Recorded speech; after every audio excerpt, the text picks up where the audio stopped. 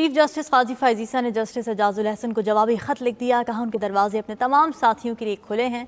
वो इंटरकॉम और फ़ोन पर भी हमेशा दस्तियाब हैं। आपने तहफ़ात बताने के लिए ना कॉल की, ना मिलने आए। चीफ जस्टिस का खत सुप्रीम कोर्ट की वेबसाइट पर भी शेयर कर दिया गया है।